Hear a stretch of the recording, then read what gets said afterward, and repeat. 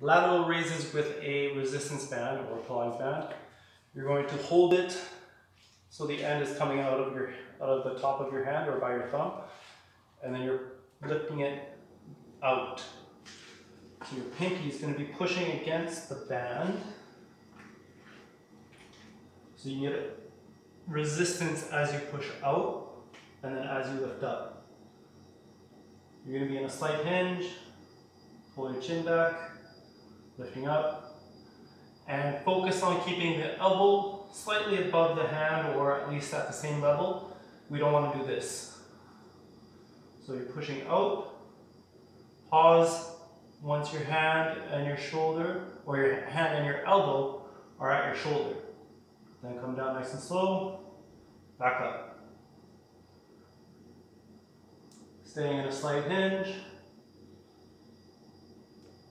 Focusing on keeping the shoulder pulled back and in place as you lift. You should be feeling a ton in the rear delt and at the shoulder blade. This is more, more effective than using dumbbells. You may also do both sides at the same time with the one band. You'll have to hold it right near the ends. Standing on it with one foot, leaning over and lifting.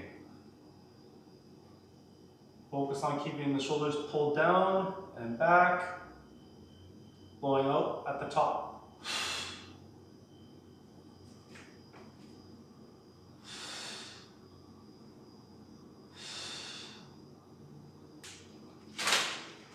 If you, have, if you have difficulty doing both arms at the same time, you start to feel your shoulders burning in the traps, or you just can't have trouble with technique and keeping your shoulders in place, then just use uh, one arm at a time, focusing on just the one side. It's going to be easier for you to focus on posture and keeping the shoulder in place as you raise as you raise your arm.